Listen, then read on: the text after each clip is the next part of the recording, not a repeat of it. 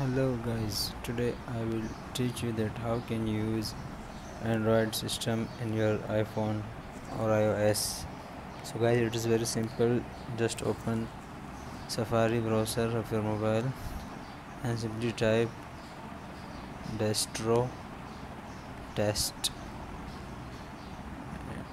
And click on the first link.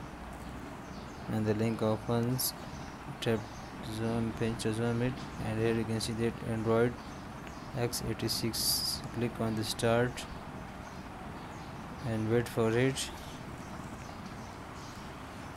There will be a link or button you have to open. And you can see that please wait system is starting. And uh, here is the button open. You can see your tab open and as you can see that android has started. So guys it's very simple. You can use android system in your iphone.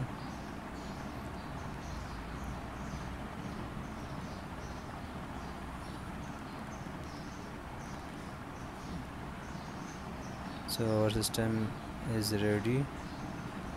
You can use it so you can see that that is that is an Android system. And uh, you can check it is uh, working like setting and other things.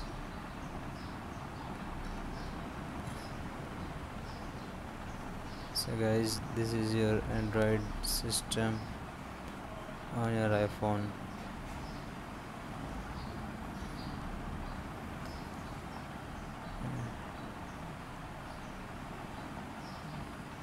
when you want to close just simply tap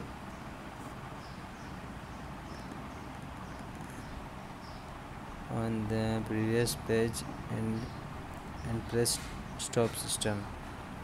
So it will be stop and will not work anymore.